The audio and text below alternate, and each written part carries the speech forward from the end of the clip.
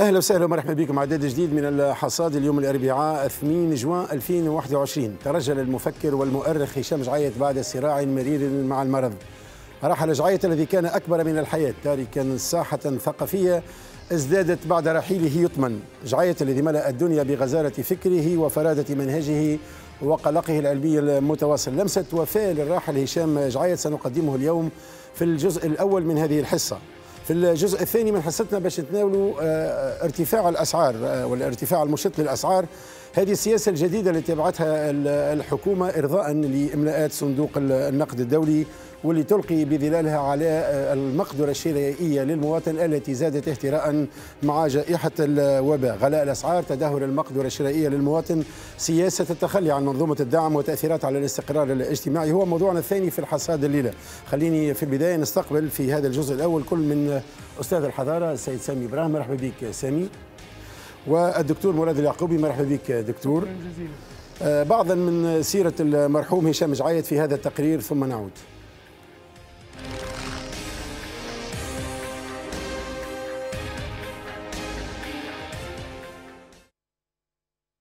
انتقل إلى جوار ربه عن مفكر والمؤرخ هشام جعيط عن 86 عاما فانعه كتاب وإعلاميون في تونس والخارج. والمفكر هشام جعيط من مواليد 35 و900 وألف بالعاصمة عايش الاستعمار الفرنسي والحرب العالمية الثانية وعاش الفقيد في وسط عائلي تميز بالتنوع الثقافي جامعا بين السلك القضائي والسياسي أب عن جد. فلا غرابة أن ينهل من جده الوزير الأكبر يوسف جعيط وعمه العالم الشيخ محمد عبد العزيز جعيط. من مدرسة الصادقية بالعاصمة بدأ المفكر يفكر الراحل تعليمه ليتدرج في مسالكه بعاصمة الأنوار باريس أين نال التبريز في التاريخ عام 62 و900 وألف قبل عقدين من الدكتوراه في التخصص الإسلامي بجامعة السربون وبعد عدة نشريات ذاع صيته شهرة ونبوغا واكتسحت أعماله الفكرية والأكاديمية تونس حتى شاعت خارجها فالتقفتها تراجم المهتمين وأقبل عليها الطلاب والمريدون. سمح ذلك للراحل بمراكمة تجربة متفردة ثرية بنيل درجة الأستاذية الفاخرية من الجامعة التونسية حيث درس فيها كأستاذ زائر ثم انتقل إلى جامعات عربية أوروبية وأمريكية. وبناء على كل ما سبق أثار رجعية قضايا عدة حرك المياه الراكدة عربيا وإسلاميا فنبغ في كتاباته ومقالاته حتى ملأت الساحات والمنابر والمحاضرات وشغل أهل الفكر والثقافة فكرا وطرحا ناهلا من الإرث الإسلامي والعروبي مقارعا ناقدا فكر طبائع الاستبداد والاضطهاد قلما مميزا متميزا في عصره حتى نال بجدارة اللقب الأب المؤسس لدراسات الإسلام المبكر في الجامعة التونسية. وفي آخر عهده كانت ثورة الحرية والكرامة التونسية المشعة داخليا وخارجيا فانتصر الراحل للربيع العربي كمحطة بارزة في حياته فرأس الراحل المجمع التونسي للعلوم والأداب والفنون بيت الحكمة بين سنتي 12 و2000 و15 و2000 كأول رئيس المنتخب للمجمع كما حاضر في عديد المناسبات حول الثورة وقيمها وأبعادها. وبعد معاناة مع مرض عضال عانى منه خلال السنوات القليلة الماضية أدخل إثرها عديد مرات للمستشفيات. فارق الراحل الحياة تاركا إرثا واسعا وجدلا لا شك أنه لن ينضب برحيله بل ببقائه مرجعا شاملا في التاريخ الإسلامي. قامة رحلت لن تنهي جدلية الدين والسياسة في كتبه كما كتب في الفتنة الكبرى. وشخصية تونسية متفردة في زمنها وسيرتها كما عنون في السيرة النبوية عناوين وأزمات لخصها الراحل في أزمة الثقافة الإسلامية.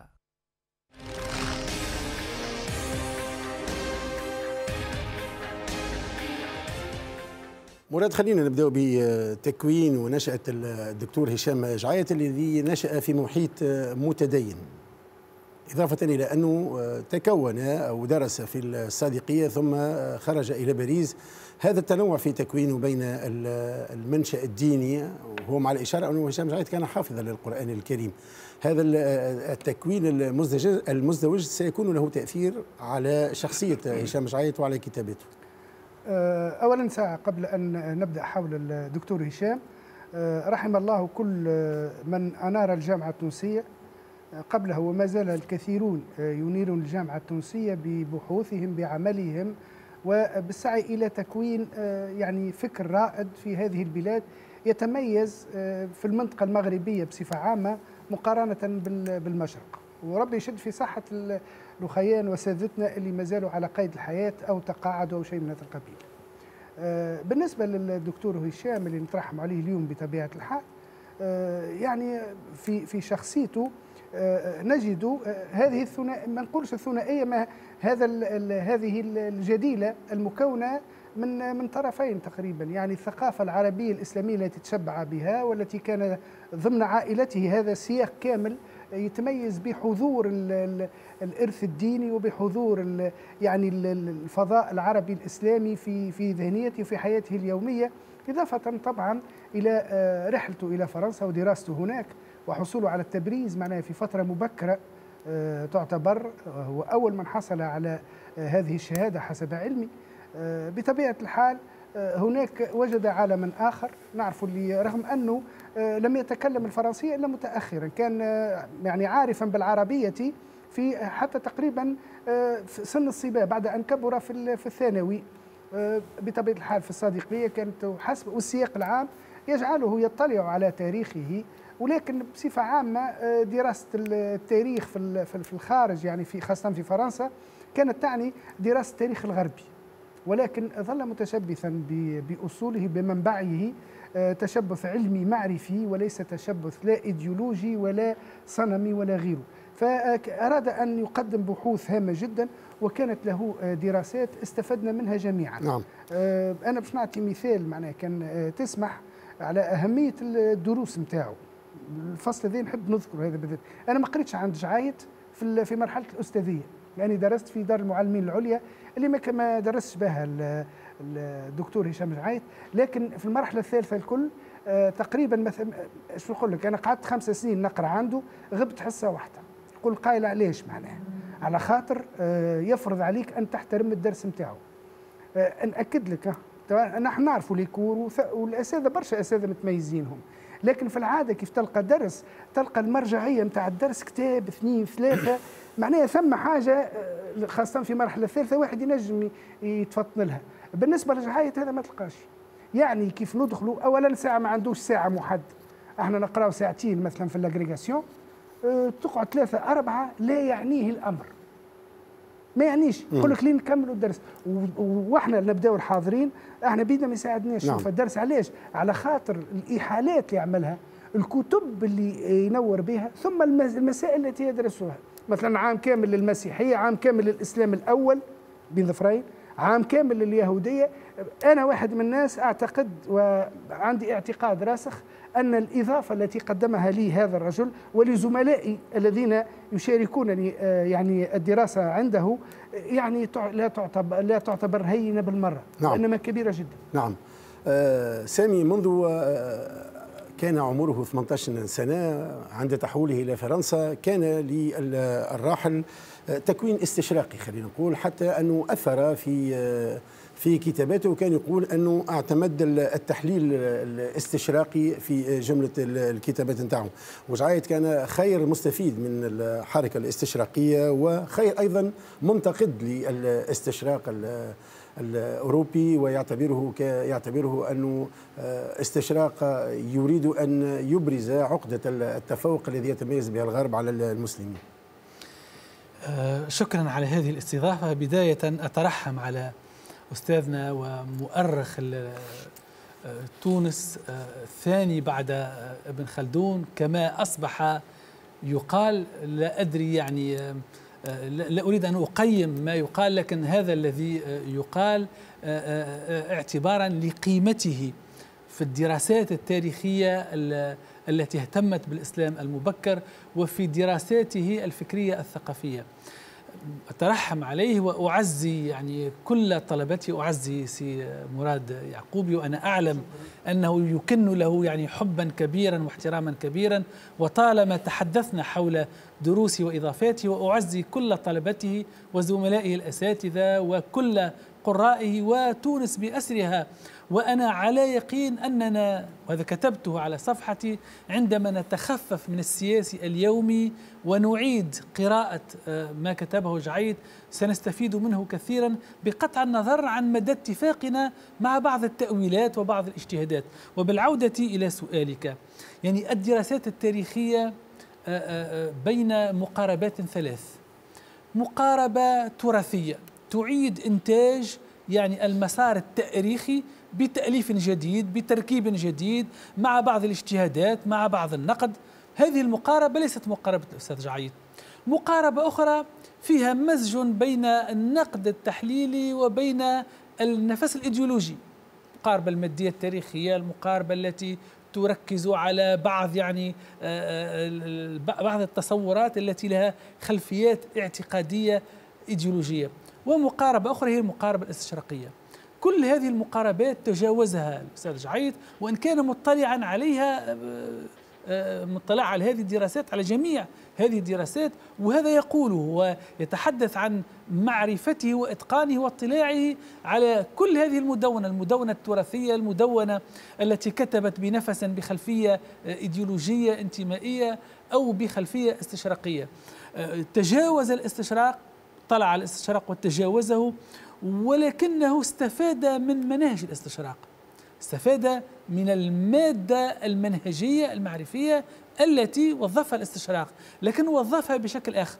وإن كان في بعض كتاباته يعني لم يخرج عن السياج العام للاستشراق النقدي لأنه الاستشراق مدارس. الاستشراق في بدايته كان استشراقا استعماريا هذا الاستشراق الغرائبي الذي يبحث عن الأرض التي سيستعمرها. يعني كان الاستشراق رديفا للاستعمار لكن في مراحل متقدمة هناك مدارس استشراقية آه، أفادت يعني الفكر النقدي وأفادت يعني النهضة العربية ولا تزال تفيد الدراسات يعني المعاصرة.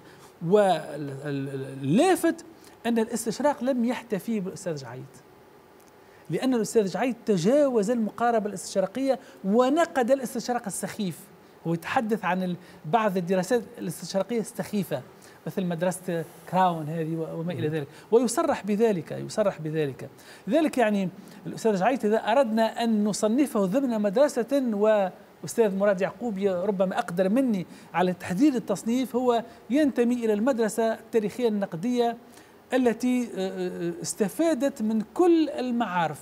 فلسفة الأنثروبولوجيا علم الاجتماع الفيلولوجيا أحيانا. إذا يمكن أن نقول أنه يعني آه، مؤرخ ناقد للوثيقة و... هو سامي إذا كان اعتبرنا أنه جعية آه، هذا المفكر المسكون بهواجس التاريخ وهذا المؤرخ المسكون بهواجس الفلسفة والفكر هل يمكن أن نقول أنه جعية كان له مشروع فلسفي تاريخي آه، متفرد يعني في في الساحة الثقافية العربية؟ يعني نعم هو هو صاحب مشروع. هذا المشروع قائم على يعني ركيزتين أساسيتين. بين المقاربة الإيمانية التي لا تضيف الشيء الكثير ضمن يعني التمثل التاريخي للإسلام. المقاربة الإيمانية معروفة الإسلام دين سماوي له نبي وله وحي منزل وما إلى ذلك. المقاربة الإيمانية. وبين المقاربة الاستشراقية التي تصدر عن إيمانية أخرى مضادة تريد أن تؤسس للمركزية الأوروبية وللعقل يعني الغربي المركزي الذي انتقده جعيد.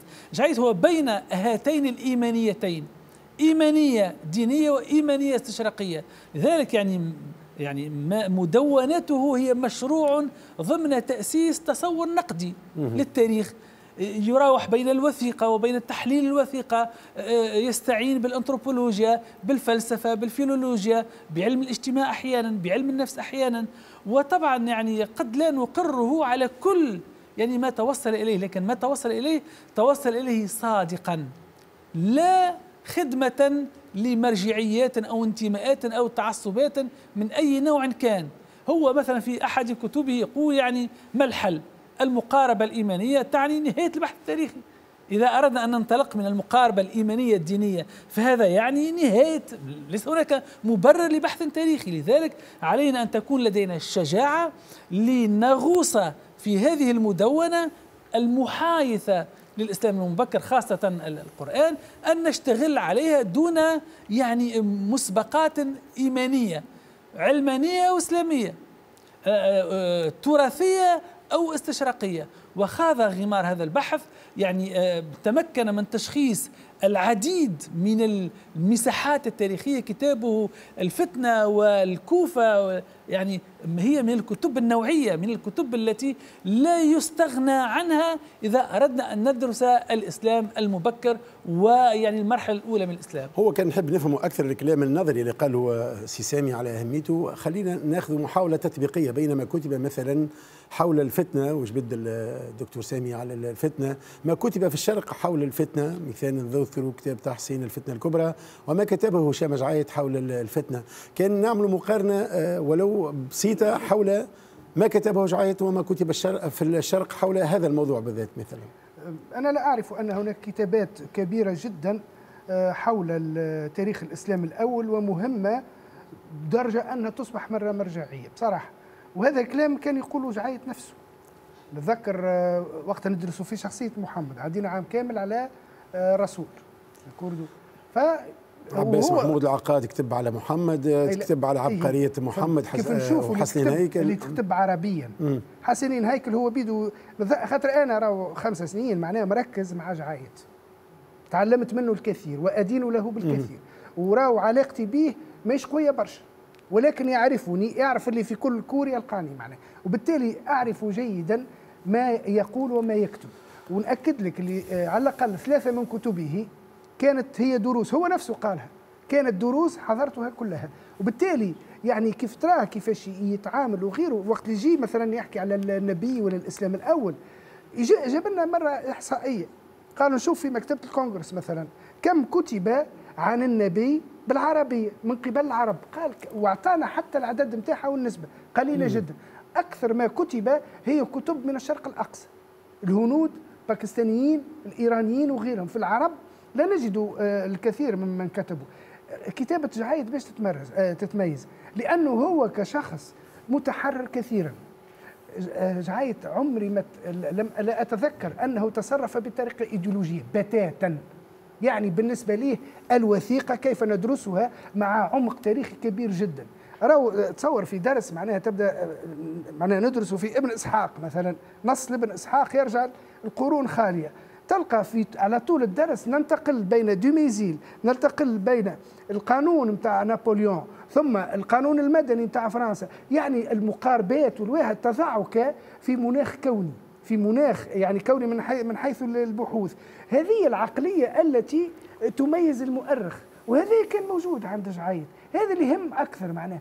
مقارنة كي أنا كيف نقارن؟ مثل ما كتبه جعيد حول شخصية النبي وخاصة ما أعرفه عنه عن قراءته للروايات ونقده للروايات. من أفضل ما يكتب حول من النقد حول الروايات التاريخية خاصة الروايات التاريخية الإسلامية. يعني الإسناد وغيرها له معرفة كبيرة جدا بهذه المسائل وبالتالي الاستفادة منه أكيدة.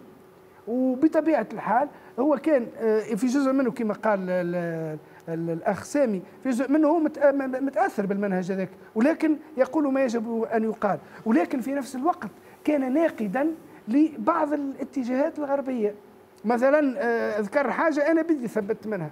قال بعض الكتب حول النبي لا نجدها في فرنسا إلا في كلية الطب. نعم. لماذا؟ لأنهم يعرف يعتبرون أن الوحي هو مجرد آه، مشكلة آه، ذهنية. وبالفعل لم أجد هذا الكتاب في فرنسا إلا في كلية الطب. وكيف طلع معناها كلام كما هكايا جاي تجيب عنه. من غير ما تحس هذا الأهم وهذا لازم أي مدرس في, في الكلية يتحلى به راهو في نهاية الأمر المسألة مش مجرد بحث هكا عام بركة. هو خلق عقلية نتاع تفكير. ما تحسوش أنه مثلا ينجم ياخذ موقف في في حاجات اللي عندها معنى روحي كبير جدا. مثلا عندما كنا ندرس القرآن نتذكر في ندرس وقتها في سورة النجم. تحدث عن الوحي وحاجات من القبيل هذه. هو نفسه قال قال قال بصراحة هو هذا كلامه قال بصراحة عندما أدرس هذه المسائل وأعود إلى القرآن هناك روحية معينة افتقدتها وأسترجعها. نعم. هكا قال حرفيا معناه وبالتالي الأهم هو الجانب هذايا هو الجانب الذاتي نتاعو أنه لم يكن يغلب لا إيديولوجيا ولا رؤية سياسية ولا غيرها وكان نعم. باحثا. نعم. الدكتور جعيط انتقد أيضا الإسلاميين واعتبر أنهم اهتموا كثيرا بالظواهر وما كانش عندهم الفكر الإصلاحي العميق كما كان عند محمد رشيد الرضا وكما كان عند جمال الأفغاني وكما كان عند محمد عبده عبده كما انتقد أيضا الحداثيين والحداثة في تونس واعتبرهم واعتبر أن هذا المشروع المستنسخ من فرنسا واللي قائم أساسا على التضاد مع ظاهرة التدين انتقد هذين الظاهرتين وكأنه يقف معتدلا بين هذين هذين الأطروحتين. هذه هو عندما انتقد التيارات السياسية لم ينتقدها لأنها سياسية هو انتقدها من زاوية أساسية. هو يعني أحيانا البعض يعتبر أنه الدكتور هشام جعيط رحمه الله كان رجلا متعاليا. وفي الواقع هو لم يكن تعاليه من باب يعني النزعة الأرستقراطية التي ينتمي إليها. هو كان ينظر بنوع من الازدراء لحالة الأمية والجهل التي عليها عموم يعني عموم الناس. وهو يعتبر أن هذه الأمية آه، تشمل حتى الجامعة. هو يرى أن هناك جامعيون لا يقرؤون ولا يطالعون ولا ينتجون أبحاث علمية وأبحاثهم غير مسجلة. والتيارات السياسية جزء من, من, من, من هذه الأمية العامة التي تحدث عنها عدة مرات بنوع من الازدراء ليس الاحتقاري معناتها للأشخاص أو للناس أو للشعب أو للوطن. هو نوع من احتقار الجهل في حد ذاته. وانتقد حتى الجامعة التونسية وقال عنها كلاما فيه شيء من القسوة. ذلك يعتبر أن هذه التيارات لا تنتج فكرا ولا معرفة فما بالك بالبرامج. وأنا أتذكر تعليقه على يعني تغيير النهضة من اسمها إلى الاتجاه الإسلامي إلى النهضة. واعتبر أن هذا عملية سطو ليس من حق النهضة في نظره أن يعني تطلق على نفسها اسم النهضة والنهضة هي شيء عام والنهضة تعبر عن يعني مشروع فكري فيه الإصلاح وفيه التجديد. يعني هو كان يعيب على التيارات السياسية فقرها المعرفي فقرها في إنتاج المعرفة والإصلاح والفكر التجديدي الذي هو أساس البرامج. لا يمكن أن يكون لك برنامج في الاقتصاد في الدولة في الاجتماع ودون خلفية معرفية.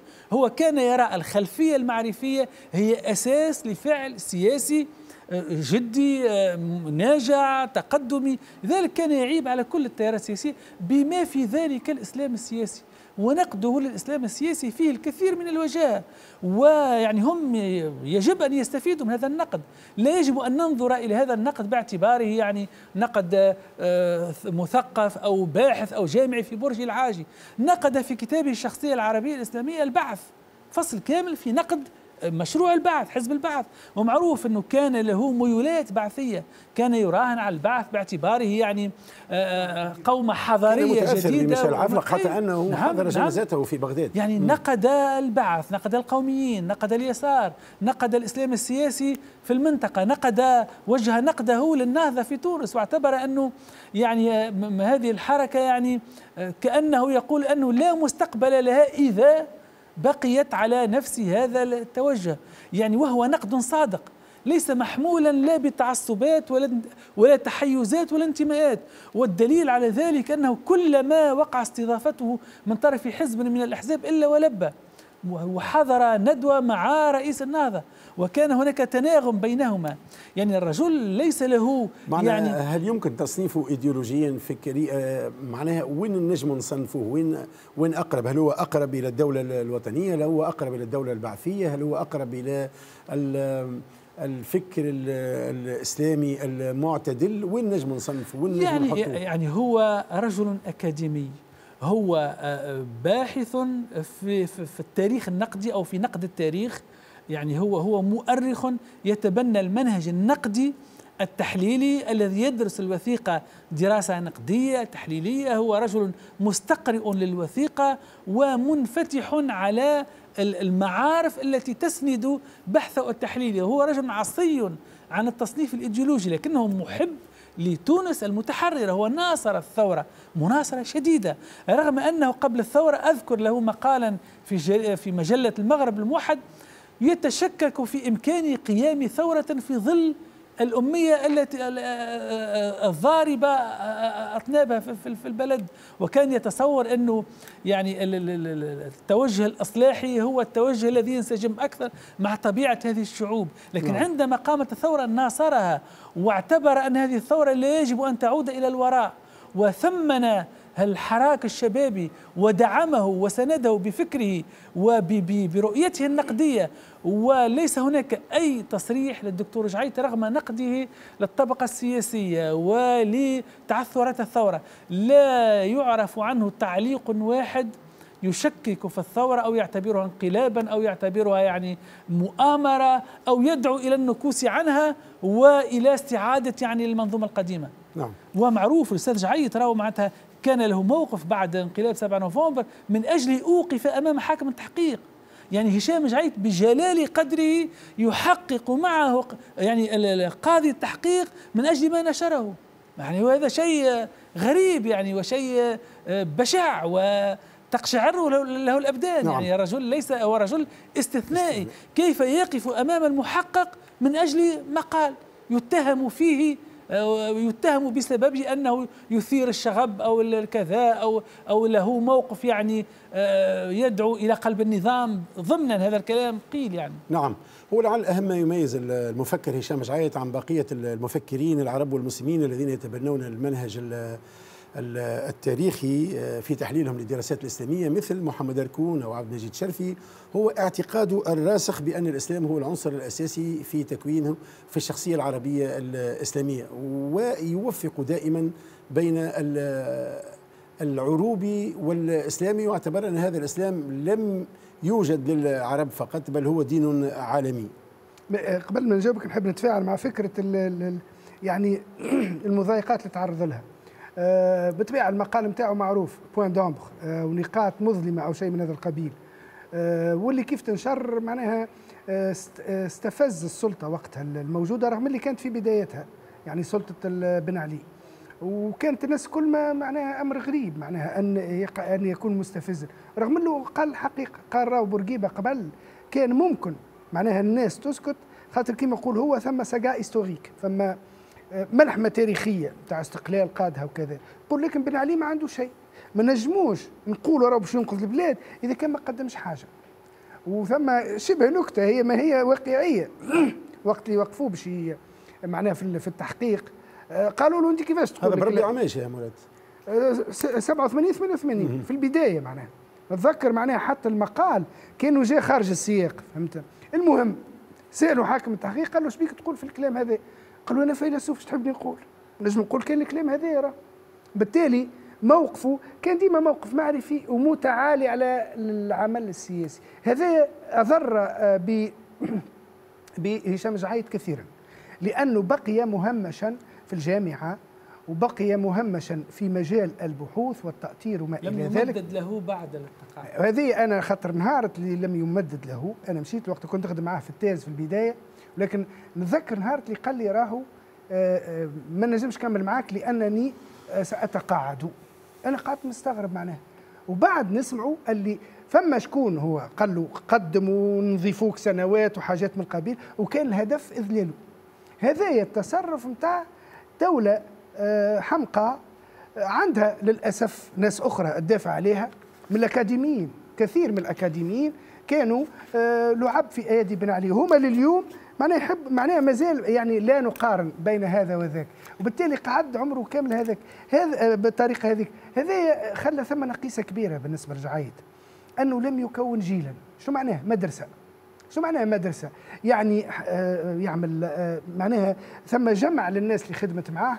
وإحنا عدد كبير خدمنا معاه. أنا محل ما كملتش معاه أما ثم برشا زملاء وزميلات كملوا معاه. معناها أعرفهم الآن ندرس بالجامعة. معنا حتى علاقة ببعضنا. بينما لو كان آه، وجعيت ما كانش ينجم يضم المجموعة هذه لأنه مثلا لا تقع له تسهيلات في الحصول على منح ولا تكوين مخابر ولا تكوين وحدات بحث ولا غيرها. فكان تقريبا مهمشا. تاميش ذاك رد عليه بمواصلة العمل وتعميق العمل. نفع كثيرا من عمل معه والى حد الان كيف نتناقشوا حتى إحنا مع بعضنا نلقاو ثم خط ناظم ثم رؤية آه، يعني نقدية معينة للتاريخ والمصادر ونلقاو مواقفنا متشابهة رغم أن مختلفين كثيرا ايديولوجيا.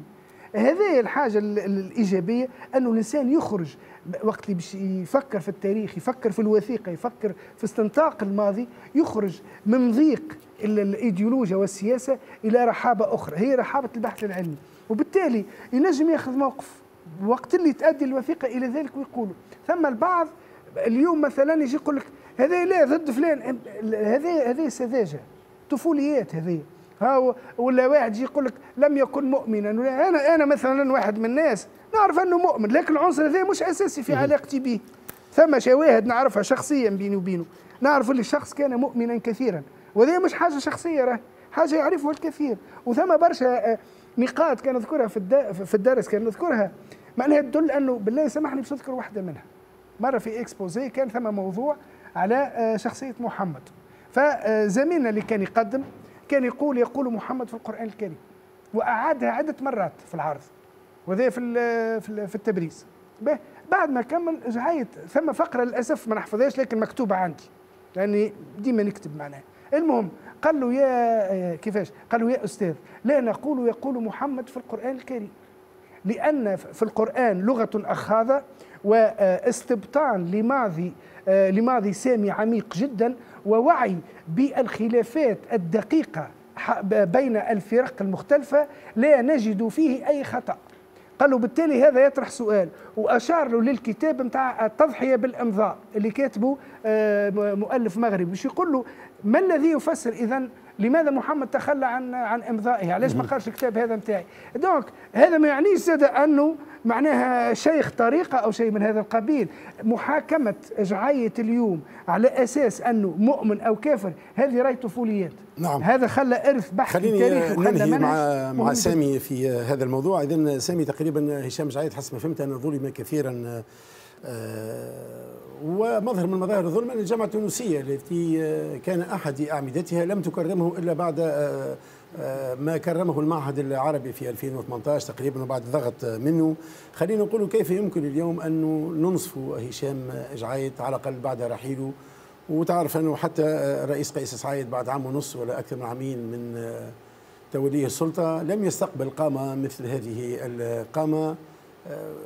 لم نشهد إلا نعيا بسيطا من لدن رئاسة الجمهورية، كيف يمكن أن ننصف هذا الرجل وهذه القامة العلمية؟ يعني بداية هو الدكتور هشام جعيت رحمه الله دخل يعني القصر الرئاسي قصر الجمهورية قبل الأستاذ قيس سعيد الرئيس الحالي وحاضر في في في هذا المكان في هذا المكان الرمزي بمحضر طلبته وأساتذة من تونس ومن خارج تونس وبحضور سفراء ووجهاء يعني الفكر والسياسة وتفاعل معه الجمهور. هذا يعني وواكبنا يعني هذه الندوة. كذلك يعني استقبله رئيس الباجي قيد سبسي رحمه الله ووسم بالوسام الأول الاستقلال. يعني وقع آه، آه، إنصافه ولو بشكل رمزي وتقلد بعد الثورة يعني رئاسة مجمع بيت الحكمة. اليوم كيف نكرم أستاذ هشام جعيد. يعني آه، آه، نكرمه أولا بإخراجه من التجاذبات الطفولية الصبيانية التي تحدث عنها آه، أستاذنا سي مراد يعقوبي. يعني هشام جعيد ليس معنيا بالإيمان أو اللا إيمان لا يدافع عن الإسلام ولا يعارض الإسلام. هو باحث مؤرخ يحاول أن يفهم الدين في التاريخ. لا يعنيه الدين في الجانب العقائدي يعني الاعتقادي الشخصي. يعنيه كيف اشتغل الدين في التاريخ وصنع دولة وصنع مؤسسات وصنع حضارة وأعلام وأداب ومدونة مترامية الأطراف. هذا الذي كان يعنيه. ذلك تكريمه يكون من خلال الاطلاع على ما دون والاحتفاء به بحثا ودراسة وتسويقا وتعريفا والسير على منهجه لما لا. يعني اليوم نحتاج إلى دراسات أكاديمية حول حول حول إنتاجه وأن نمحصها وأن نستوعب أطروحته وأن نفهم شخصية هذا الرجل. ثم يعني هذا الرجل يعني له لطائف روحانية إيمانية. هو يعتبر أنه في كتابه الشخصية العربية الإسلامية أنه أقرب إلى النبي محمد عليه الصلاة والسلام من يعني مسلمي القرن الأول والثاني الهجرة ويتحدث عنه عنه باعتباره الروح التي تسري. يعني له لطائف له روحانيات. يعني هي, هي على هامش البحث لا تعنينا. لا يعنينا أن, أن, أن كان مؤمنا أو غير مؤمن أو درجة إيمانه وما قاله هو, هو يعني مصادم للمسلمات الاعتقادية أو ليس هذا ما نعم. يعنينا. الذي يعنينا منهجه التاريخي. وهذا ينطبق على غيره. الأستاذ محمد الطالبي له أشياء معناتها تستفز الشعور الديني. لكنها هامشية أمام مثلا المقاربة السامية هي مقاربة استراتيجية على المستوى البحثي. يمكن أن تبنى عليها أطروحات وتصورات وإصلاح ديني. يعني الذي يهمنا كيف يعني استنبط آه، دكتور هشام جعيد من من هذا الكم المنهجي نهجا في البحث التاريخي. نعم. شكرا لك آه، أستاذنا سامي إبراهيم. شكرا لك دكتور مراد يعقوبي. تقرير حول موضوع الجزء الثاني من الحصاد حول غلاء الأسعار وانهيار المقدرة الشرائية ثم نعود.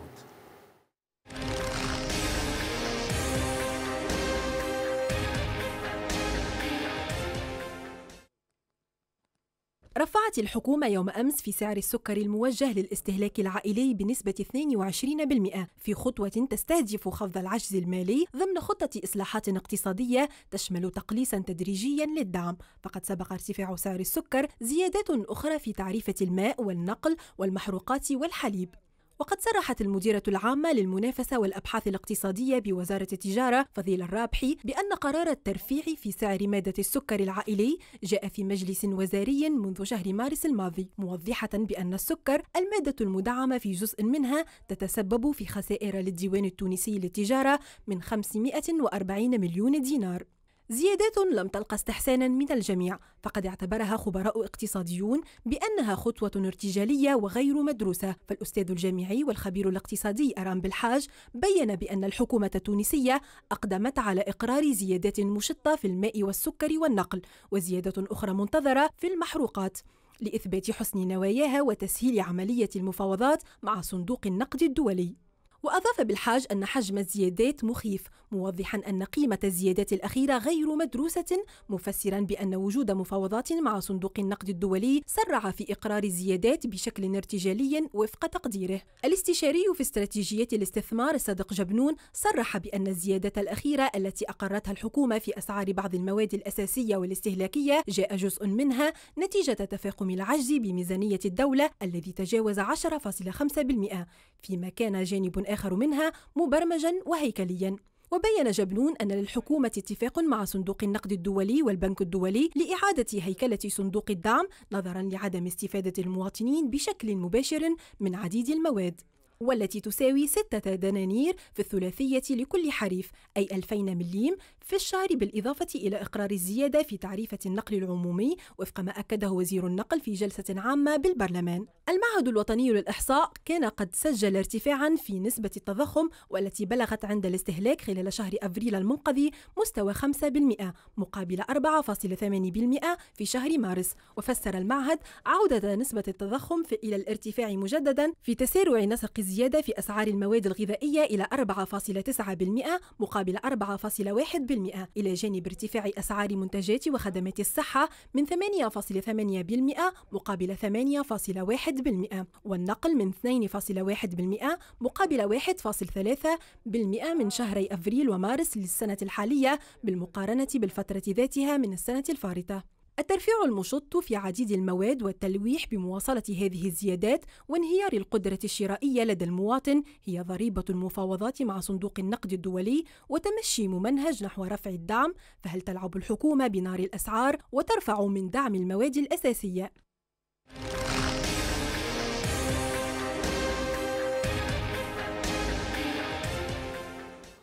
خليني نرحب في بداية هذا الجزء الثاني من حصتنا بالسيد رضا شكوندالي الجامعي والمختص في الشأن الاقتصادي. مرحبا بك سي رضا. أهلا وسهلا. وسي لطفي اليحيى رئيس المنظمة التونسية لإرشاد المستهلك. مرحبا بك سي لطفي.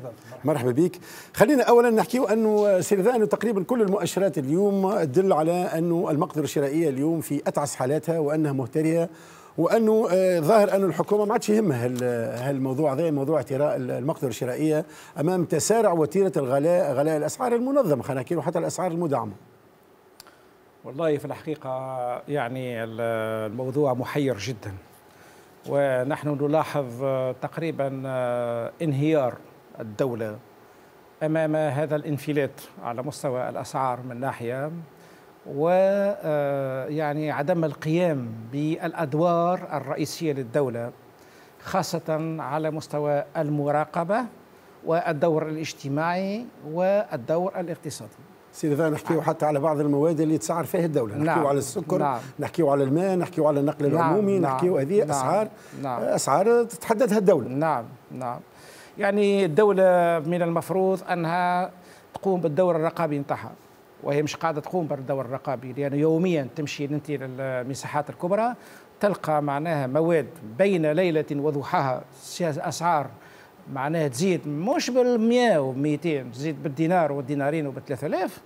يعني كي تشوف أنت اللحوم البيضاء وتشوف أنت الغلال والخضر يعني هذوما اللي يمسوا حياة المواطن الفقير. ما نحكيوش على الطبقة المتوسطة.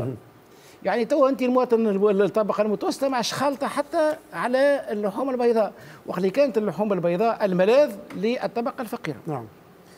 يعني في كل المواد وتوا نسمعوا حتى في المواد اللي هي كان على قليله مطمان. وهو أن الدولة راهي واقفة بجانب المواطن التونسي نشوفوا حتى الدولة قاعدة تتخلى على هذا الدور الهام اللي قاعدة تلعب فيه. الدور الاجتماعي كذلك قاعدة تتخلى فيه الدولة لأنه المواطن التونسي حسب الدستور شو يقول الدولة تتكفل بتوفير حق معناها للمواطن التونسي معناها حق الصحة والحق النقل والحق التعليم المجاني. إحنا جاي نشوفوا توا الدروس الخصوصية ونشوفوا المدارس الخاصة اللي علاش مشيت لها العائلات؟ مو خاطر ما تلقاش في الخدمة الاجتماعية على مستوى التعليم يعني ال ال الأدنى ما تلقاش لأنه حتى الأستاذ توا بيتهرأ المقدرة الشرعية نتاعو ولا يقول لك أنا نحب نعمل دروس خصوصية. علاش؟ لأنه معناها المقدرة الشرائية نتاعو تهريته بالتالي هو يبحث عن ملاذات أخرى. كانوا ما يعملش هو.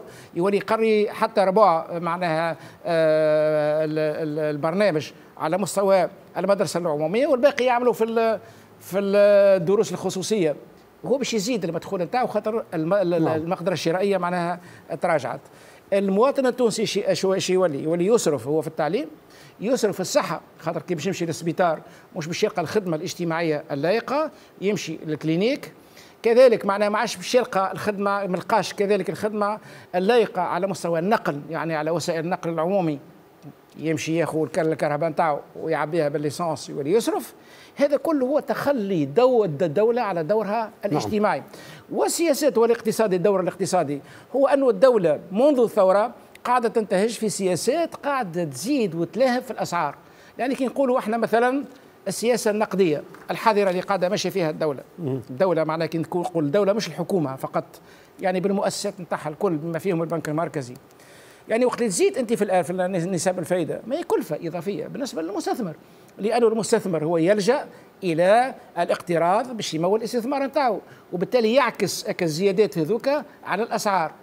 كيف كيف؟ كي تمشي أنت في سياسة الصرف المرنة وتراجع قيمه الدينار التونسي تيمون المؤسسات الاقتصادية في تونس تورد التجهيزات وتورد المواد الأولية بأثمان عالية بطبيعة الحال باش تزيد في الأسعار نعم. وبالتالي هنا أنا نسميه بما يسبب معناه باش بين قوسين هو انهيار الدولة نعم. انهيار الدولة على مستوى الاقتصادي على مستوى السياسات الاقتصادية على مستوى الاجتماعي وهي فهي لا تقوم بدورها المناط بعودتها حسب الدستور في الصحة وفي التعليم وفي النقل وكذلك الدور الرقابي وخاصة وأنه تقول أني كي تحكي أنت مع مع المسؤولين في الحكومة يقول لك ما عنديش العدد الكافي من المراقبين.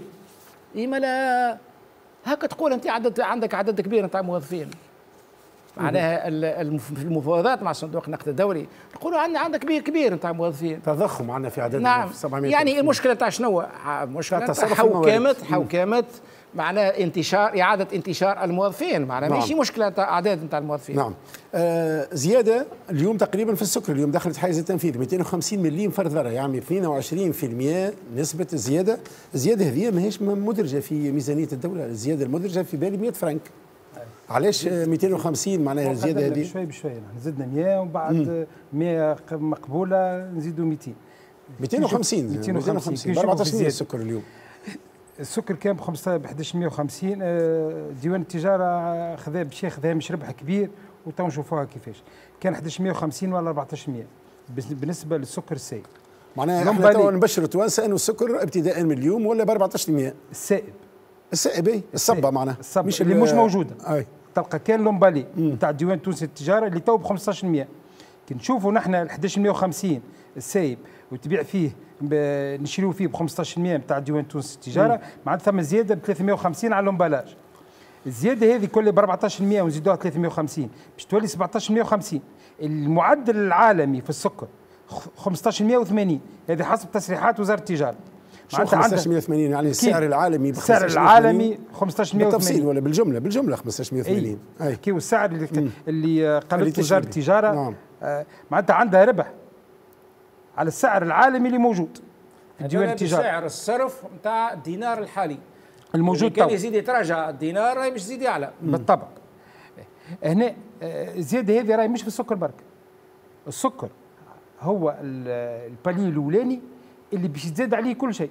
جميع المنتوجات اللي تستعمل السكر. تستعمل السكر باش تزيد. عليه هو زاد عند الصناعيين ما زاد عند المستهلكين. السكر ما زادش عند الصناعيين. بالطبع. معنى ما زادتش الدولة للصناعيين. الصناعيين هوكش ياخذوا السكر المدعم بطبيعته. بطبيعته لكن الزيادة هذه وتو نشوفوها في الأيامات القادمة نحن بالتجربة نعرف اللي كل زيادة تزيد راهي عندها مكونات معناتها ناس أخرين باش تزيد على الزيادة هذيك. أخي ثم استشارة وقعت معناها بعد قبل الزيادات هذه يعني شاور نحن ما شاورناش. نحن كمنظمة تونسية شهاده المستهلك سمعنا بالزياده كيفك أنت. كيما الماء زاد راه الزياده بتاع الماء. تتنزل هي. هي توا تونس في بصدد التفاوض مع الصندوق اشترط هنا بصندوق النقد الدولي. معناها هي خطوة لاثبات حسن نية نية السلطة. والضحية هو المواطن معناها نزيدوا في النقل نزيدوا في المحروقات. معناها ب 5% ما عادش ب 1.5% نزيدوا في الماء. معناها بصفة فوجية نهبطوا في الرائد الرسمي انه ثم زيادة في ماء الشرب. نعم. نزيدوا في السكر 250 زيادة معناها نعم. كذا. نعم. دون اعتبار ل بكل أسف هذا هو اللي قاعد يقع وهذا الكل معناها باش نوريو حسن نيتنا إحنا أمام صندوق النقد الدولي. ثم ما ناخذوا هالقرض المحلول معناها في الأخير. معناتها 20% تو بالنسبة للسكر لكن مش محلول بالنسبة للماء. يعني تونس مستحقة للقرض اي لكن مستحقة على معناها ما غير دراسات اجتماعية ما غير معناها ما, ما تشوف المواطن قابل ولا مش قابل ينجم يتحمل مش يتحمل هالزيادات هذه. معناها كما يقولوا إحنا تو في كي زادوا النقل قال لك حسن الخدمات وزيد إحنا نفس الخدمات ونعملوا زيادة تقريبا توصل حتى 18 20% في نعم بعض التذاكر نعم, نعم. بالنسبة للماء الزياده أكثر من السكر. 30% الماء الماء صالح للشرع بتاع السبالة معنا. تراوحت بين 13.2 و 33% لكن كي نقراو في الزيادات نلقاو البالي الأولاني من صفر ل 20 متر مكعب ما وقعش فيه زيادة. مع العلم هنا باش اللي معدل الاستهلاك التونسي 140 لتر يوميا. معدل الاستهلاك التونسي يوميا 140 لتر. معناتها صفر عائلة كي نشوفوها تتركب من ثلاثة أفراد تستهلك 37 متر مكعب. معناتها البالي الأولاني ما تمسوش. شكون البالي الأولاني اللي يستنفع به اللي عنده مكاتب.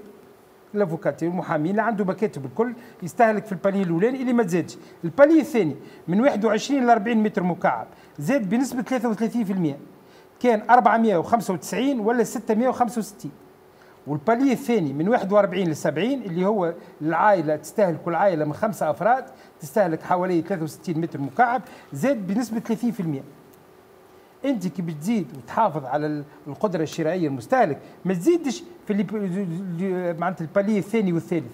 زيد في الأخرين اللي يستهلك أكثر من 500 أو الأولاني ولا الأولاني. الأخراني اللي زادوا 13.2% والأولاني ما زادوش بالكل. هو راهو هو الشريحة هذه. هو راهو توا.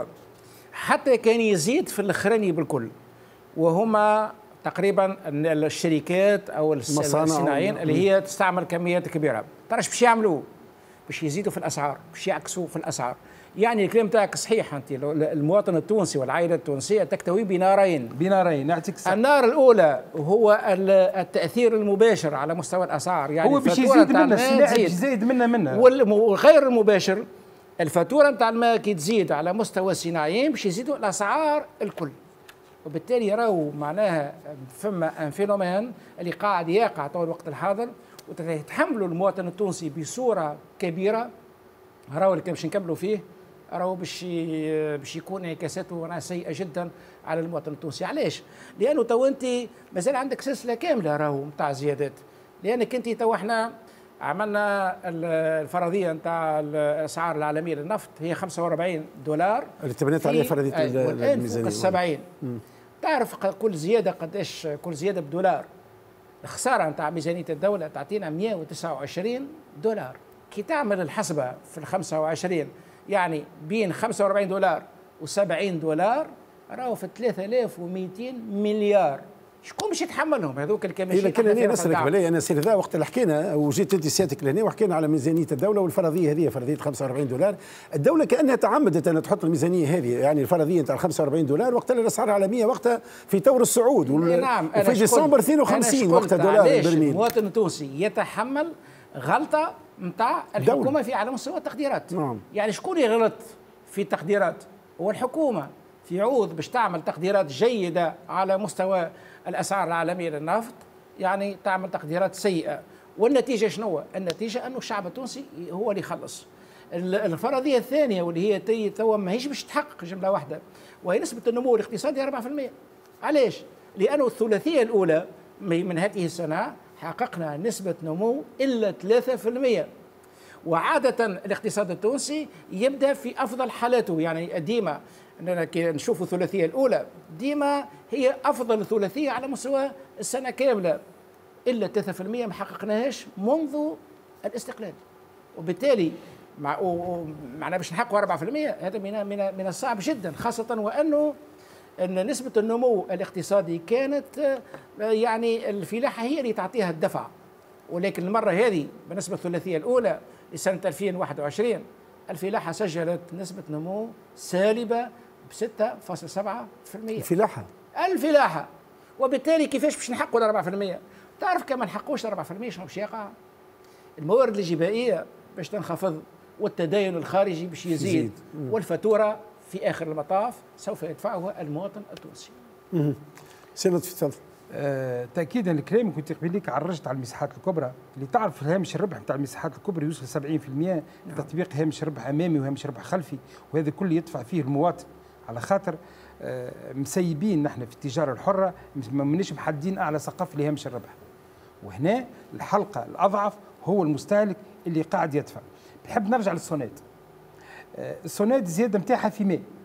ليش تفسر لنا بعد حكاية المساحات الكبرى 70% نسبة هامش الربح هامش الربح ما تجيش معناها. شو 70% ها باش تفسر لك كيفاش. عندها هامش ربح خلفي يقدر ب 30% إيش معناها خلفي؟ خلفي معناتها قبل ما آه، des ristournes وينحيوهم للمنتج منتج عنده منتوج يبيع فيه ب 10000 يفكتر له 10000 لكن ينحي له 30% من 10000 يخلصوا كان على 7000 برك. هذاك هامش ربح خلفي. ويزيدوا هامش ربح الامامي اللي يقدر زاد ب 30% هذم 60% وتزيدوا التي اللي يرجع له. يعمل شيء في الدفاع أكثر من 200 مليون. هذا يوصل 70% شكون يدفع فيه؟ أنت. آه، كي تشوف نعطيك الأسوام تاع بعض الأرقام تاع المنتوجات اللي تتباع وصل النعناع ب 185 دينار كيلو. شايح. شايح. معناتها أسعار مشطة ومشطة جدا. والمنتج ما يتقلقش. خاطر يعمل له هامش ربح خلفي 30% إيش يعمل المنتج؟ يزيد في الأسعار. ونحن نعرف اللي جل الأسعار ما تترجمش. الواقع نتاع هيكلة الأسعار عند الإنتاج اللي هي مسيبة. وعلى ذاك نحن نقول راهو تحديد أعلى سقف لهامش الربح هو مفصلي باش ننقذوا البلاد هذه. وعلى ذاك كمنظمة تونسية للشد المستهلك نحن مشينا للاقتصاد الاجتماعي التضامني. لكن المنافسة سي لطفي المنافسة ما تحدش ربما ما تنقصش شوية من الأسعار داخل المساحات الكبرى. وقت مساحة كبرى هنا تعمل كما نقولوا إحنا سعر معين الآخر يعمل remise وتقع المنافسة وبالتالي تنخفض الأسعار ال remise وال promotion وكل شيء آه. ما هوش داخل في ثم نحسوا نحن كمستهلكين اللي ثم وفاق بين المساحات الكبرى. تلقى منتوج هو بيته يزيد 10 فرنك 20 فرنك على الآخر تلقى الآخر عمل promotion في آه، في في الشوكولاتة ولا في البشكوتو لآخر الجمعة اللي من بعد يعمل promotion في حاجة أخرى. تحسها نحن كمستهلكين وقاعدين نشوفوا تحس اللي ثم وفاق وهذا مش ضد قانون المنافسة معناها. ضد قانون هو الهامش الربح الخلفي ضد قانون المنافسة. إيوه أنتم ما رفعتوش قضايا في الحكاية نحن رفعنا قضايا ومجلس المنافسة قاعد آه، مازال ما نظرش فيها. آه، مجلس المنافس الفرنسي خط المساحات الكبرى على خاطر هامش الربح الخلفي اللي هو آه، معناتها آه، مشكلة كبيرة للصناعي خاطر قاعد تحت رحمة المساحة الكبرى. وهو ما عندوش حتى خيار آخر كان باش يرفع في الاسعار نحن تقول لنا أنت كمنظمة إيش عملتوا؟ نحن مشينا لاقتصاد اجتماعي التضامن وعملنا آه، تعاضديات استهلاك. قاعدين نبيعوا المنخرطين نتاعنا بأقل ب 20% من الفضاء التجاري العام. إيش معناها المنخرطين نتاعكم؟ معناها كان المنخرطين نتاعكم بالطبع حتى قانون التعاضد يقول هكا. فهمتني؟ عملنا تعاضديه استهلاك وين موجودة موجودة في بارد وفي دوار هيشر وفي آه، المنزه السادس وفي حدائق المنزه. هذا أربع فضاءات حاليا قاعدين باسعار من المنتج إلى المستهلك. وهذا كونسيبت جديد سميناه حومة اللي حاولنا باش نخفضوا الأسعار. خاطر المضارب وين؟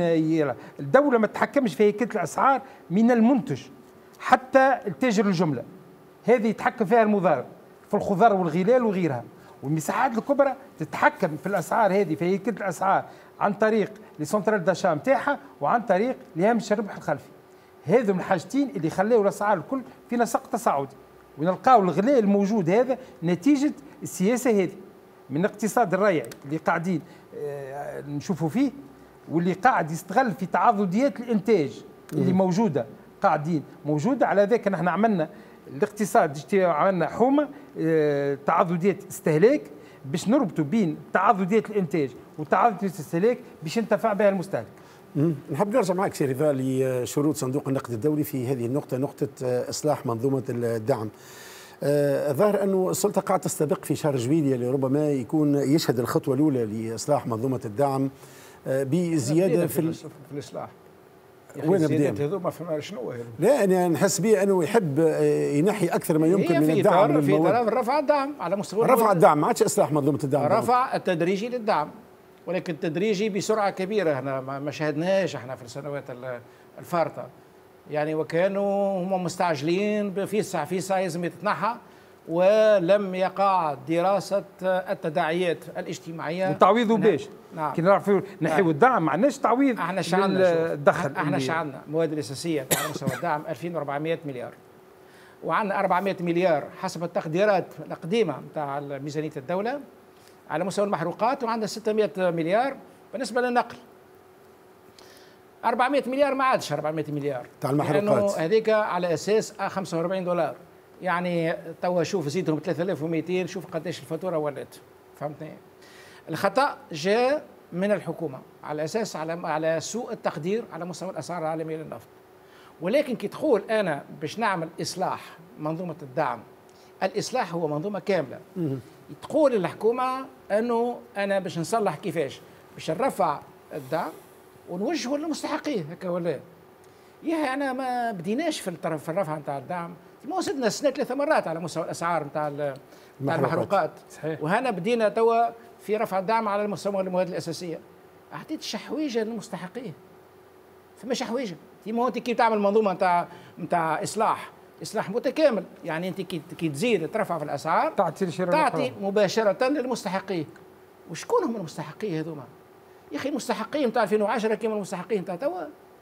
تعرف قديش الدخل أنا نتفكر إيه بالضبط الفكرة هذه اللي أنا قلتها لي. مرة قلت لي أنه تراجع الدخل الفردي من 345 دولار تقريبا نعم. إلى حكاية 270 حسب الأرقام حسب الدولار حسب وأرقام هو يلزم يكون 880 دولار بالنسبة لعائلة متوسطة. هاو باش باش نجيك. يعني كي تشوف انت الأرقام وتشوف الناتج المحلي الإجمالي وتقسمه على عدد السكان يعني الناتج المحلي الإجمالي لكل ساكن وهذاك يعطيك تقريبا الدخل التونسي المتوسط الطبقه المتوسطه تلقى في 2010 345 دولار لل للفرد.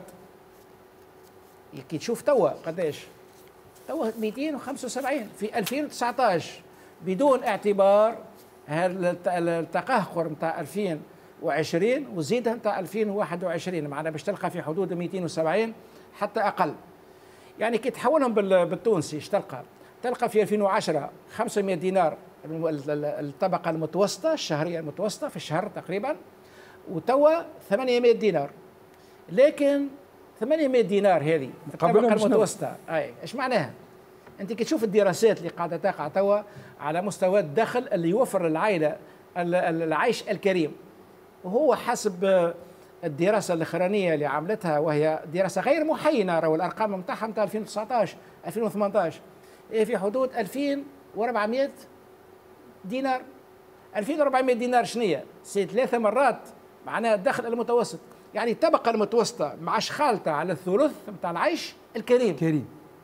c'est très dangereux الفقر مشينا للفقر الفقر. معناها الطبقة المتوسطة من 2010 لل 2021 نزلت بصفة كبيرة تهاوت إلى الطبقة الفقيرة.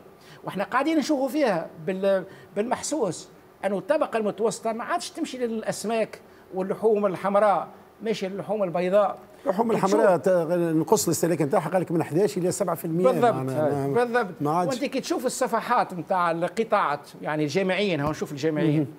كل مرة صبوا شهرية ولا ما صبوش ما كناش هذا. هذه ما كانتش اللغة موجودة قبل معناها 10 سنوات التالي تو صبوا شهرية ولا ما صبوش يعني إيش معناها؟ نهار بحساب. معناه لا نهار بحسابه الناس قاعدة تستنى في الشهرية يعني ما تفضل حتى فرنك وبالتالي معنى هذا مؤشرات حتى الطبقة الوسطى تراجعت كان بعض الأرقام من من 2010 كان تقريبا 70% ولا تقريبا وصلنا 45% تقريبا. قل من 50 أنا نقول لك المقدرة الشرائية للمواطن التونسي حسب الكالكول اللي فما تراجعت أكثر من 80% هذا أقل شيء. ونحسوا فيها كطبقة متوسطه إيه هو حتى المسؤولين نتاعنا والحكومة نتاعنا حاسة بها معناها عندها سياسة التقشف وقالوا أنه آه، الوزراء باش يعطيو شهريتين معناها نصف الشهرية نتاعهم في شهر في شهر أفريل مش قالوا يعطيو نصف الشهرية سي رضا؟ معناها أفريل اي المستهلك مش يوصل له اي لكن أنا أنا أنا اخذ قلت ما عطاوش معناها ما صبولهمش هو توا شوف راهو اذا كان انت الحكومة التونسية تريد أن معناها تطلب من الشعب التونسي أنه يتقشف وأنه يكبس السنتورة ويعيش معها الأزمة. لابد هي تعطي المثل.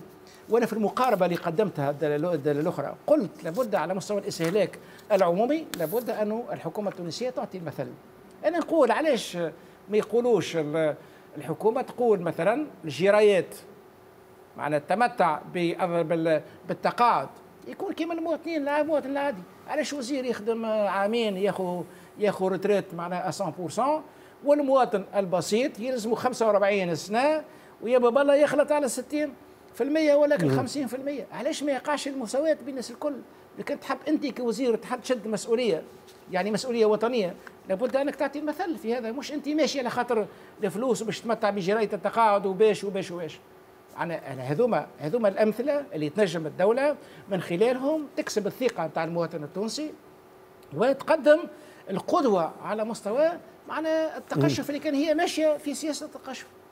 هو ما تسمىش تقشف يتسمى حوكمة الموارد ولا النفقات يعني أنا سميتها في المقاربه حوكمة الموارد حوكمة رشيدة على مستوى التصرف المال العام. هو هاي ثم مثال آخر. تعرفش قداش عندنا من سيارة إدارية سي لطفي؟ الاف على 75000 على 75000 سيارة إدارية يستهلكوا كل شهر 600 مليار من المازوت.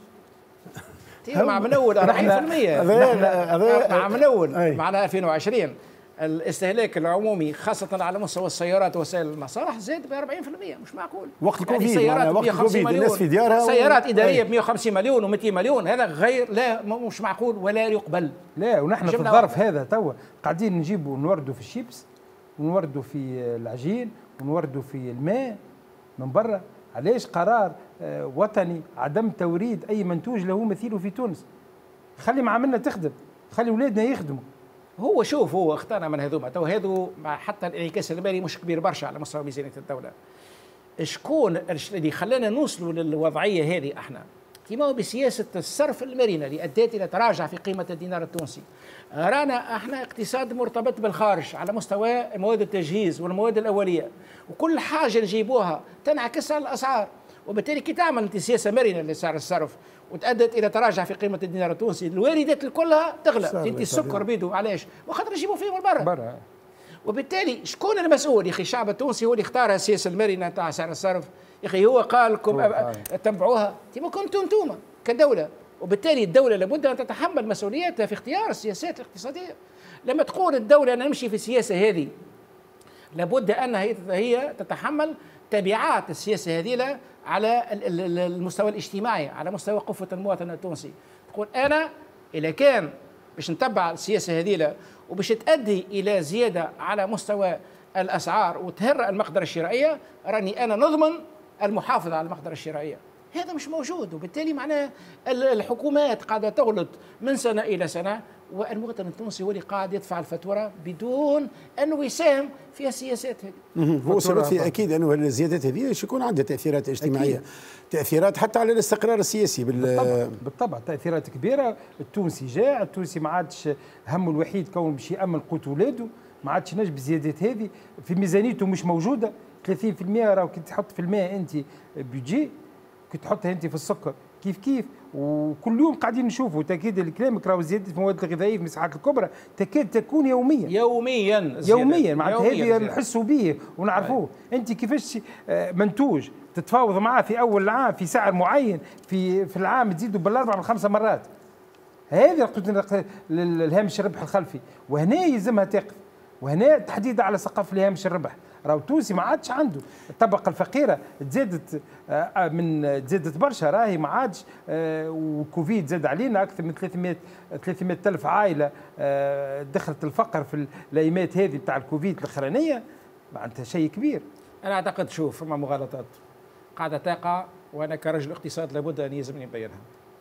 اولا القول بأنه نجحنا في مقاومة التضخم المالي.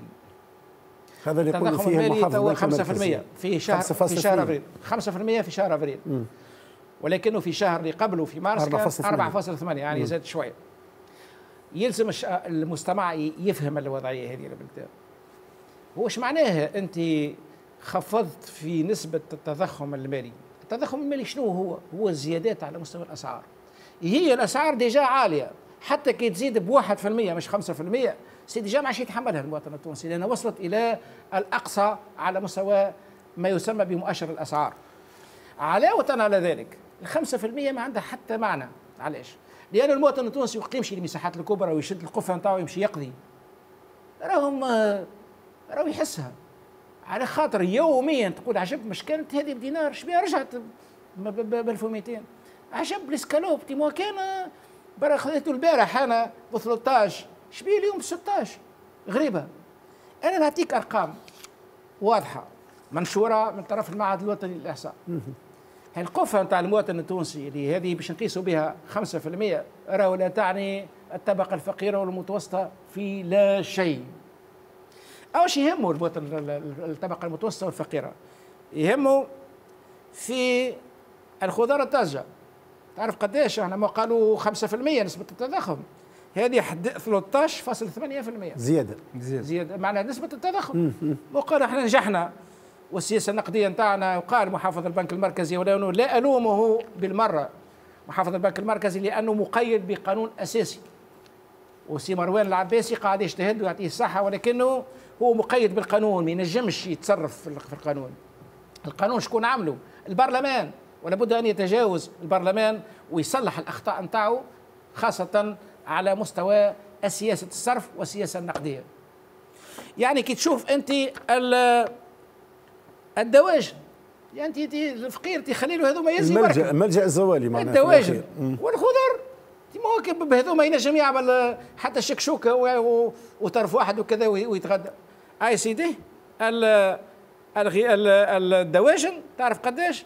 11.7% يعني واحدة 3 fois le taux d'inflation وواحده deux fois et demi le taux d'inflation وباش نزيدك على الدواجن باش نزيدك على الدواجن. سامحني هنا في لحظه 20% زياده في سعر الشعير الشعير العلفي البارح نهار نعم. واحد ستة نعم. زادت ب 20% الترجمة نتاعو هو في الدواجن. في المنتوجات الناس الكل في ال... هذه الزيادة هذه تو تشوفها في الأسعار كيفاش باش تترجم فعليا للمستهلك. لغه بسيطة. وعلاش نعملوا في أرقام هكاك ما عندها حتى معنى؟ ونتكلموا ونقولوا إحنا قاعدين آه، آه، عملنا إنجازات على مستوى مقاومة التضخم المالي والسياسة النقدية نتاعنا وسياسة الصرف معناها معناها سياسة جيدة وإحنا قاعدين نقاوم في التضخم المالي. راهو العباد تحكي هكا. السياسيين والمسؤولين راهو ما يشدش القفه يمشي يقضي في ال في les grandes surfaces الواحد. يبعث الشوفير نتاعو ولا يبعث شكون وكذا وما يحسهاش. ما يعرفش قيمة الزيادات هذوما.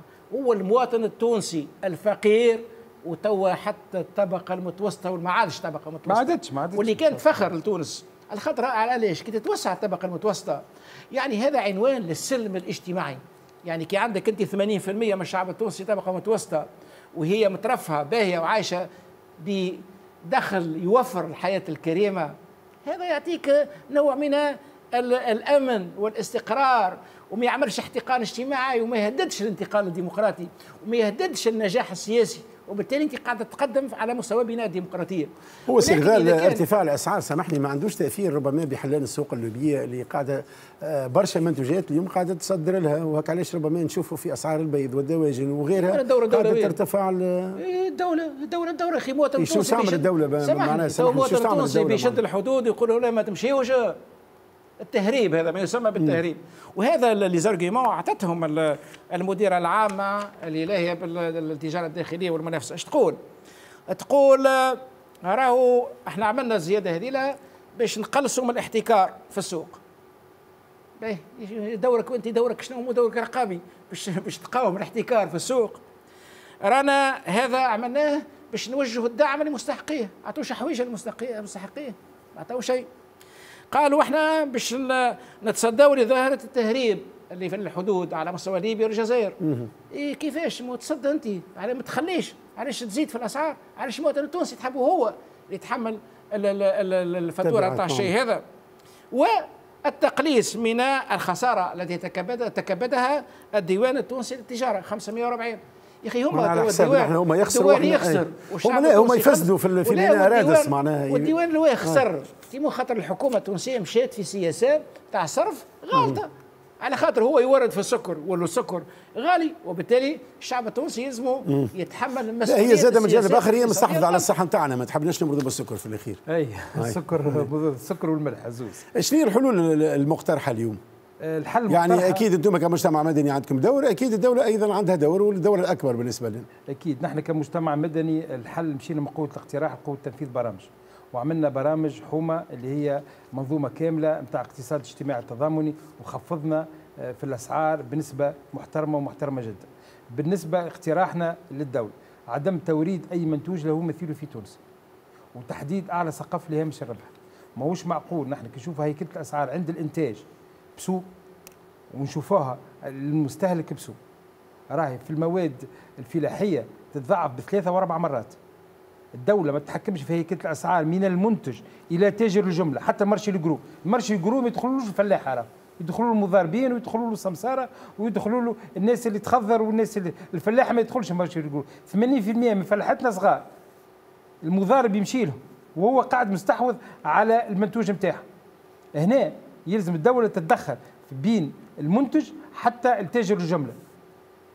من بعد تاجر الجملة وتاجر التفسير راهي مقنة ومعروفة هامش الربح قداش. أما المضارب وين يخدم؟ يخدم في هذيك. والمساحات الكبرى هي القاطرة نتاع الأسعار اللي هي قاعدة آه توجه في الأسعار وهي عندها هامش ربح كبير. وتزيد القروض الشطط الكبير في القروض والخدمات البنكية اللي آه كل عام تزداد بنسبة 7% شطط كبير. آه شو اللي تزاد ب 7%؟ الخدمات البنكية. اللي هي شنو الخدمات البنكية عندنا أكثر من 40 خدمة بنكية. نشوف فيها ال extrait bancaire وغيرها فهمتني من الخدمات البنكية اللي هي فيها شطط وشطط كبير. أنت في الهامش في آه، تاريخ الفاعلية تعرف الموظف التونسي كل شهر قاعد آه، كارثة كي تتصب الشهرية نهار الجمعة. تاريخ الفاعلية نتاعنا الاثنين. ثلاثة أيام هذوكم ندفعوهم نحن. وخاصة آه، اللي شهريته تبدأ ضعيفة. أنا لما تكلمت على 2400 مليار وقلت على الأقل البنوك قاعدة تربح في أموال طائلة وخيالية جاء الوقت راوي الدولة في ضيقة مالية وراو البنوك التونسية لازم تساهم ب 2400 قلت ولا ما قلتش؟ صح. شكون اللي قال لي لا؟ هم الناس اللي تدافع عن الحكومة. وبالتالي ال ال ال ال السياسة النقدية شكون عملتها؟ الحكومة وشكون التفع بها؟ أنا نقول السياسات الاقتصادية اللي تعملها الحكومة فما شكون ينتفع وشكون شكون اللي هو خاسر المواطن التونسي خاسر ديما ولكن البنوك. البنوك انتفعت في مدة خمس سنوات أو ست سنوات من هذا المساحات الكبرى زاد سير ذا أخي ما كانش في ميزانية 2018 نعم. كانوا يوظفوا نعم. عليهم واحد فاصل كذا نعم. ووقفت لوبيات وعركة كبيرة في اللي قلت الميزانيه أنا الفائده على الدين 2400 السنة برك تتبرع البنوك وتقيم القفة مع ال- مع الحكومة التونسية. قالوا لي كيفاش تقول الكلام هذا؟ هذا ما يجيش. وغير منطقي. معناها أنا وقت اللي أنا كمواطن يعني نتحمل السياسات خاطئة نتاع الحكومة. وقت اللي وقت اللي أنا متضرر من السياسات. ومن هو منتفع من من السياسات؟ مش مستعد؟ أنه يساهم في الأقل- شكون يدافع عليه؟ يقول لك لا ما يجيش. معناها شنو الحلول توا؟ آه. ونحن أنت نحن مستهلك. كي ياخذ قرض استهلاك ب 10 ملايين. نعم. بعد سبع سنين يرجع 14 مليون 40% وين يهزهم ال 10 ملايين؟ يهزهم المساحه الكبرى اللي تربح في 70% نعم. معناتها ما عنده وين هارب قاعد يخدم عمره كامل وصغار وواحد يخدم كل شيء على زوز من الناس على زوز قطاعات المساحات الكبرى. والبنوك؟ هذا كله شط أنت في الأخرين تعرف تاريخ الفاعلية آه، الدرجة نتاع الفوائد اللي فيها. معناتها آه، أنت كي تصب لك شهرية تمشي. وهنا المستهلك باش يعرف. انت كي تصب لك شهريه تقول راه تصبت لي شهريه تاريخ الفاعلية مش نهارتها. بعد بنهار. معناتها كي تمشي تجبد انت نهار الجمعة شهريتك. تاريخ الفاعلية نتاعها نهار الاثنين. عندك جمعة وسبت وحد واثنين. انت كي تاخذ مثال بسيط وباش نعرفوا الضرر نتاع تاريخ الفاعلية. أنا عندي مليون في يدي. مشيت للجيشي في البنك. صبيته. صبيت مليون. تاريخ الفاعلية نتاعو غدوة مش اليوم. أنا خارج من البنك مازلت ما خرجتش من البنك. على الجيشي كلمني ولدي. قال لي بابا حاجتي ب 500 نرجع. قل له بربي أعطيني ماك المليون 500 ال 500 نهارتها تاريخ الفاعليه نتاعها وقتاش؟ غدوة. والمليون اللي صبيته. آه، 500 تاريخ الفعل نتاعو البارح. أنا ما عنديش فلوس. والمليون اللي صبيته تاريخ. الفعل نتاعو غدوة. معناتها النهارين هذوك ياخذوا عليهم. نعم. خلينا في الآخر آه، سير ذا نحكيو على ال- الحلول. شنو هي رؤيتكم آه، أنتم بالنسبة لكم أنتم لوقف هالنزيف هذا؟ خاصة بالله نحكيو على مثال المنظمة الفلاحية حتى بدها تعيط تقول لك أنا يا خويا زاد ما يساعدنيش الأسعار هذه ما تغطيش كلفه الإنتاج واني نحكي على ديناميكية الأسعار اللي في الآخر يضر منها الم- المواطن في الأخير. وبيقول لك أنا بالنسبة لي نحسب كلفه الإنتاج نحسب هامش ربح ونبيع. أنا خلينا نكون واضح. شوف أنا لا ألوم لا هذه الحكومة وهي أنا نقول إرث هذا نتاع سنوات كبيرة برشا.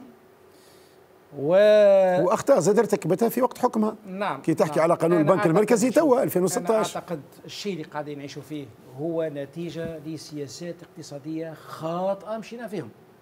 راهو أنت كي تشوف توا ال- الزيادات نتاع الأسعار على مستوى الأسعار الكل يعني السبب نتاعها الأصلي هو السياسة المرنه لسعر الصرف. تاع تراجع قيمة الدينار التونسي. أنت تشوف الستيك راهي تجيب في الغاز من برا من, من, من الخارج. بأثمان قاعدة تزيد. السو- السونات قاعدة تجيب في تجهيزات من برا كيف كيف بأثمان قاعدة تزيد. كل المؤسسات العمومية اللي قاعدة تسجل في خسائر كبيرة راهي الخسائر ابتداء من وقت اللي تراجع قيمة الدينار التونسي. وزيد تقترض بال- بالعملة ال- بالأجنبية وترجع. وتلزم الحكومة باش تمشي تعمل اقتراض بالعملة الصعبه بضمان تاع الحكومة. إحنا كي ال- ال- ال- الفاتورة نتاع الماء والضوء المؤسسات العمومية كما STEG وال SONEDE هي تكونت علاش؟ هو هي مؤسسة عمومية كونتها الدولة لاسداء خدمات اجتماعية بأسعار اجتماعية. لكن كيش نلقاو إحنا توا الماء والضوء تلقى فيه التي في وتلقى فيه معاليم. معاليم قارة ومعاليم تقدر شنو ومعاليم تقدر شنو وتجي أنت الكونسوماسيون تاعك تاع 26 دينار يرجعوها لك فهمتني بال 70 بال 80 وبال 90 دينار. ومعاليم التطهير. نعم. توا هل يعقل توا الدولة باش تاخذ على حاجات حياتية كما الماء وكما الضوء. في باش تنتفع هي بها. خاطر TVA en fin de compte ما تعودش للشركة تاع ال SONEDE ولا تاع ال STEG هي تمشي الدولة، مباشرة نعم. لل- للوحدة. الدولة. علاوة على الأخطاء اللي موجودة على مستوى الفاتورات واللي قاعد يتحمل فيها المواطن التونسي وخلص ومن بعد نتفاهموا. يعني حقيقة المؤسسات العمومية اللي كانت في وقت من الأوقات مفخرة ورحمة للاقتصاد لل- لل- للمواطن التونسي أصبحت الآن نقمة للمواطن التونسي. وحتى معناها آه، آه، عملية الدفاع على هذه المؤسسات واللي هي مكسب وطني معناها معناها إذا كان هي توا فاتورة تولي معناها قاعدة ترهق في المقدرة الشرائية للمواطن التونسي وأسعار عالية وخيالية وتعجيزية. وحتى كي تمشي توا لل STEG تقول له اجتني فاتوره كبيرة نحب نعمل facilité؟ يقول لك أقل شيء 50% تخلص. يا ودي خذ انت شوية عندك. 50% لكن السوناد لا تقول لك تدفع توا. وتدفع توا. السوناد يعني توا هما في ضيقه ماليه. شوف في ضيقه ماليه للزوز هذو. وخسائر كبيرة. يا ودي اللي يدفع حتى 10% خذ عليه انت نقص من من الضيقه المالية نتاعك ومن بعد أو ماشي الحل الآخر خصص يعني الخدمات فما الماليه يعني فما. عدم مرونة في التعامل مع المواطن التونسي بصورة كبيرة وكبيرة جدا. أعتقد اسمع المؤسسات العمومية موضوع لابد من فتح حوار كبير عليه. لأنه علاش؟ لأنه مؤسسات قاعدة تسجل في خسائر كبيرة ولكنها قاعدة تعطي في أجور زهيدة على مستوى الموظفين وامتيازات كبيرة. مش معناها؟ ما, ما, ما, ما, ما, ما يخلصوش الضوء وما يخلصوش الماء وما يخلصوش الغاز وهو خيط ماشي للجار وخيط ماشي لدرا شنو وكذا وكذا. لابد من اعاده النظر صحيح. حول هذه المنظومة. خلي لي كلمة أخيرة معناها. لا تطاق. بالنسبة للمواطن التونسي نعم أنا شكراً. باش نربط مع آه، كلام صديق آه، SONEDE تصور أنت آه، المعاناة اللي يعاني فيها المستهلك. يقعد سواعي سنه السمش لبرا باش يخلص الفاتورة. ما يخلطش على دوره ويتراكم الفاتورات. ويجيو ثلاثة وأربع فاتورات. ومن بعد هذا كان ما قصروش يولي يعدي أي. les tranches على tranches، أي. ويجبروه هذا صاير في الضوء توا. يقصوا. له الماء وينحوا له ال compteur في الوقت هذا وهنا آه، نداء السيد رئيس المدير العام لل SONEDE باش معناتها المعاملات هذه تجاوزات. تج- نحيوا يقصوا الماء على عائلة على خاطر ما خلصتش اللي هو واقف عنده يمشي بالأربع بالخمسة مرات باش يخلص وما نجمش يخلص والله يحليله المواطن في في الأخير. لا معاناة والله معاناة والله. يحليله في وعلى. ذاك آه، التونسي يحس روحه في غبن يحس روحه مقهور في بلاده مقهور. شكرا لك سي لطفي الرياحي رئيس المنظمة التونسية لأرشاد المستهلك شكرا لك سي رضا شكندالي الاستاذ الجامعي والخبير الاقتصادي. شكرا لكم على حسن المتابعة. نتقابل غدوة إن شاء الله في نفس التوقيت. إلى ذلك الحين نترككم في رعاية الله. إلى اللقاء.